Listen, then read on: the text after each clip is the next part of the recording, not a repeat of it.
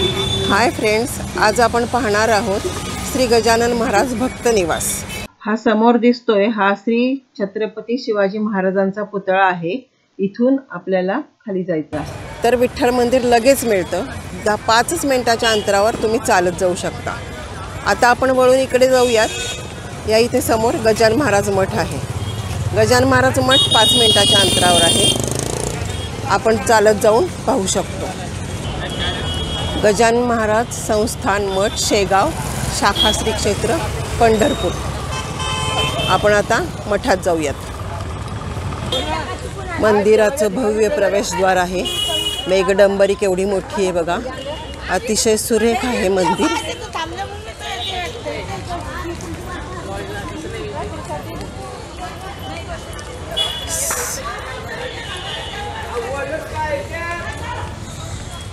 कोरीव काम अतिशय सुरेख आहे. अतिशय पाहण्यासारखं आहे सगळं.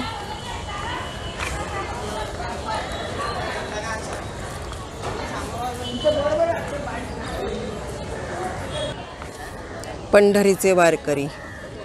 वारकऱ्याचा छान सुंदर पुतळा आहे. वातावरण अतिशय सुरेख आहे. आणि इथे समोर भक्तनिवास एक ह्याच्यामध्ये नोंदणी कार्यालय आहे. तुम्हाला रूम ज्या हव्या आहेत त्याची नोंदणी तुम्ही इथे करू शकता. आतमध्ये जाऊन तुम्हाला इथे येऊनच नोंदणी करावी लागते कारण ऑनलाईन नोंदणीची सुविधा नाही. नोंदणी कार्यालय.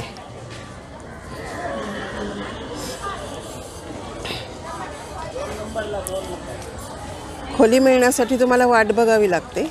आणि या इथे समोर हा जो संपूर्ण मंडप आहे इथे तुम्हाला खोलीसाठी मिळेपर्यंत बसता येते वाट बघता येते.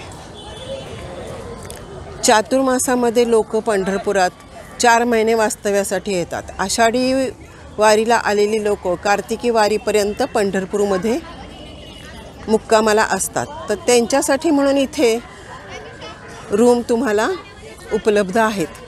परंतु रूम आषाढी वारीच्या गुरुपौर्णिमेपासून तुम्हाला रूम मिळते. आधी रूम मिळत नाहीत. कारण इथल्या वारक इथल्या लोकांनी त्या रूम आधी घेतलेल्या असतात. त्यांच्या स्वतःच्या रूम आहेत ह्या शेगावकरांच्या वगैरे किंवा देणगीधारकांच्या त्यामुळे गुरुपौर्णिमेपासून मात्र रूम चार महिने तुम्हाला उपलब्ध होतात. प्रत्येक महिन्यासाठी तुम्हाला आठ हजार रुपये साधारणपणे भाडं पडतं.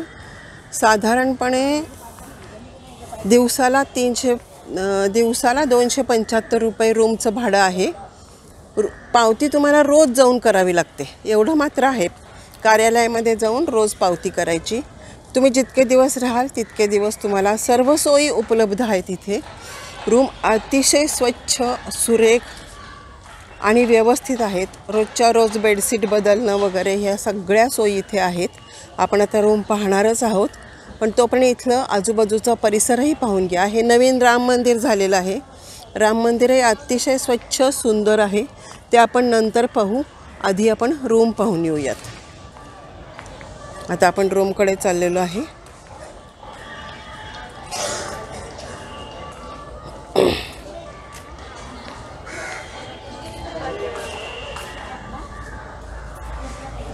इथे वर जिना आहे. पण आपण खालच्या रूम बघणार आहोत. बघा रूम किती छान आहे. चार महिने वास्तव्यासाठी अतिशय उपयुक्त आहे. म्हणजे तुमच्याबरोबर तुमचे पाहुणे रावळे जरी आले तरी त्यांची सोय इथं होऊ शकते. पाच लोक साधारणपणे ह्या रूममध्ये राहू शकतात. टॉयलेट वगैरे अतिशय क्लीन आणि स्वच्छ आहेत. कुठलीही रूम तुम्ही बघू शकता अतिशय छान स्वच्छ सुंदर व्यवस्थित आहे. आणि सोयी प्रचंड आहेत इथे. बघा किती स्वच्छ आहे सगळं. बेसिन आहे प्रत्येक रूमला आणि शिवाय असे कपडे वाळत घालण्यासाठी म्हणून रॅकही दिलेले आहेत. ही चार महिने राहण्यासाठी रूम ह्यांनी केलेली होती. ताई तुम्हाला कसं वाटलं चार महिने आमच्या पंढरपूरला? एकदम व्यवस्था आहे. परत परत येण्यासारखं आहे. हो ना? आणि इथल्या व्यवस्था कशी आहे? मस्त आहे. आडी अडचणीला धावून येतात. हो. काय लागलं ते करतात छान आहे. ते. ह्यांच्या आणि जेवण वगैरे इथे कसं आहे? जेवण आहे इथं कॅन्टीनला पण आम्ही काही घरी बनवूनच जेवण केलेलं आहे. त्याची सोय होती. गॅस वगैरे चालू देतात. चातुर्मासाला होतात अच्छा. धन्यवाद. जर तुम्ही फॉर्म भरला तर? जर चातुर्मासाचे लोक आले फॉर्म भरून जर दिलं हो. तर टिफिन देतात रोजचं. आणि दिवाळीच्या वेळेस ड्रेस वगैरे सगळं देतात. हो का हा हं, हं, हं. आणि रोजच्या रोज जेवण वगैरे सगळं व्यवस्थित जेवण दुपारी बाराला डब्बा देतात हां छान आहे म्हणजे एकदम हा. हं. दररोज दोन प्रवचन राहायचे चंद्रशेखर महाराज आणि चैतन्य महाराज कीर्तन परवरच्या अं, ज्ञानेश्वरी पारायण गजानन महाराजाचे पारायण गाथा हे गाथा त्याच्यातच आले आहे ना. ज्ञानेश्वरी गाथा रोज व्हायचे कीर्तन हो. व्हायचे. त्यामुळं वेळ खूप छान वाटला. चारपासून संध्याकाळपर्यंत एन्जॉय करायचं. सकाळी उठलं तसं दर्शन करायचं. चंद्रभागेचं स्नान. स्नान नगर प्रदक्षिणा. आणि दर्शन. दर्शन. रोजच्या रोज. परत येणार पुढच्या वर्षी? रूम भेटली तर येणार. अच्छा. यायचं. अधिक मास आहे मस्त करायचं आता इथं. हां आपण वरची रूम पाहणार आहोत. चला. प्रशस्त जिने आहेत खूप सुंदर आहे सगळं. असे मोठे कॅरिडॉर आहेत.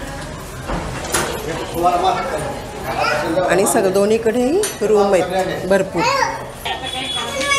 गा ही पण रूम तशीच आहे. आपण खालची जशी रूम पाहिली तशीच ही रूम आहे.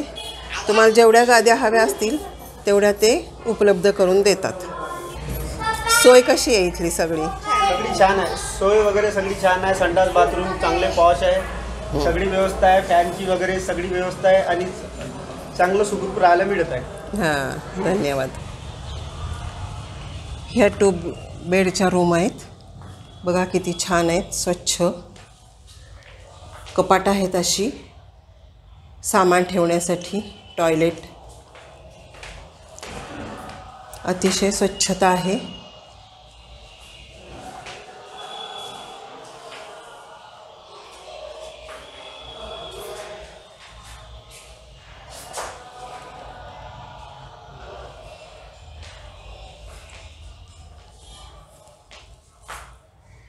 असे कपडे वाळत घालण्यासाठी जागा आहे. सगळं छान आहे.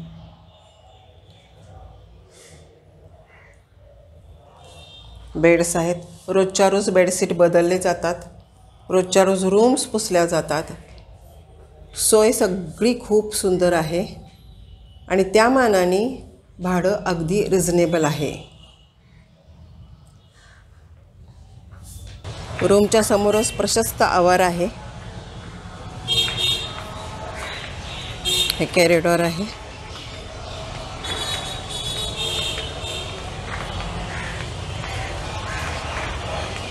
त्या बाजूलाही रूम्स आहेत सगळ्या. इकडे सगळी जेवणाची सुद्धा सोय आहे.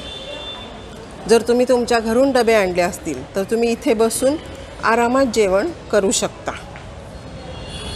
आता आपण इथली मुख्य जे भोजनालय पाहूयात. प्रत्येक रूममध्ये प्रसाधनासाठी सोय असूनसुद्धा ठिकठिकाणी असे मोठे मोठे महिला प्रसाधन पुरुष प्रसाधन बांधलेले आहेत. सामान नेण्यासाठी ट्रॉल्यासुद्धा इथे उपलब्ध आहेत. ह्या ट्रॉलीमधनं तुम्ही सामान घेऊन जाऊ शकता. इकडे प्रसादालयाची मोठी इमारत आहे. पण जर तुम्ही रूम केली असेल तरच तुम्हाला इथे प्रसादाची सोय होते. मग त्याच्यामध्ये दिवसभर जेवण खाण नाश्ता चहा पाणी अतिशय माफक दरामध्ये उपलब्ध आहे. खूप कमी खर्चामध्ये तुम्हाला इथली पंढरपूरची ट्रिप करता येते.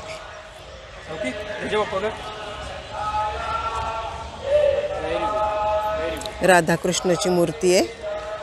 प्रसादालयाच्या समोरच. खूप सुंदर मूर्ती आहे राधाकृष्णाची.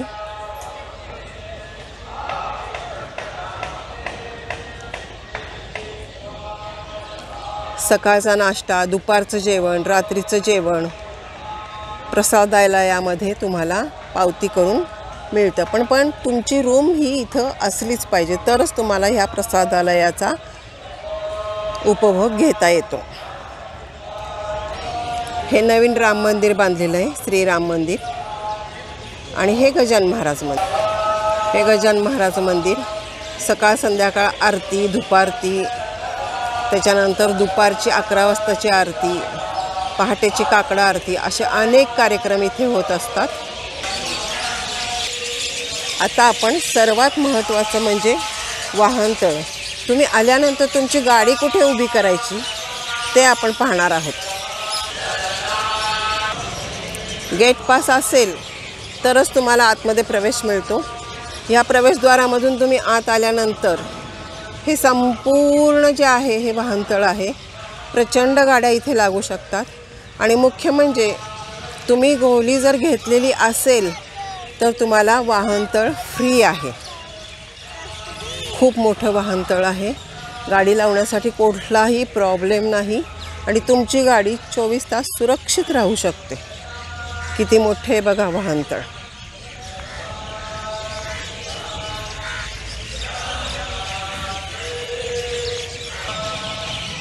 तर हा व्हिडिओ तुम्हाला कसा वाटला ते मला जरूर कळवा. असेच नवीन नवीन व्हिडिओ पाहण्यासाठी माझ्या चॅनलला सबस्क्राईब करा. मी पंढरपूरचीच असल्यामुळे तुम्हाला पंढरपुरातील वास्तव्याची ठिकाणे नवीन नवीन दाखवणार आहे. आणि कुठे तुम्ही जास्तीत जास्त सुरक्षित आणि छान राहू शकाल हेही मी तुम्हाला सांगणार आहे. कारण मला इथली बरीच ठिकाणं माहिती आहेत. तर बघा आवडला असेल व्हिडिओ तर मला नक्की लाईक करा आणि कमेंट्स करायला विसरू नका. कमेंट्समध्ये मला विचारा तुम्हाला कुठे राहायचं आहे काय? मी तुम्हाला नक्की सांगेन की कुठली जागा सुरक्षित आहे कुठे छान आहे राहण्यासारखं ते मी तुम्हाला नक्की कळवेन. धन्यवाद.